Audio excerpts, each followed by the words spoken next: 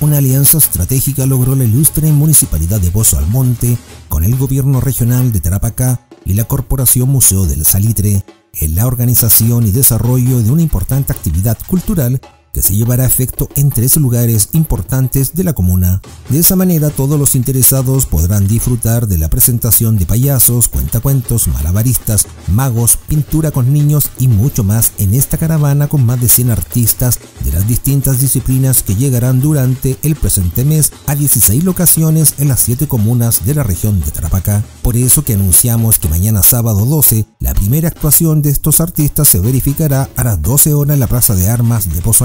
Luego, a las 17 horas se llevará a cabo la misma acción en la explanada del santuario de Nuestra Señora del Carmen de la Tirana y concluirá el día domingo 13 a las 11 horas en la plaza de la Villa Millennium. Por lo antes expuesto se hace un llamado a la ciudadanía a que participen plenamente de esta hermosa actividad cultural barrial. Los artistas lo esperan.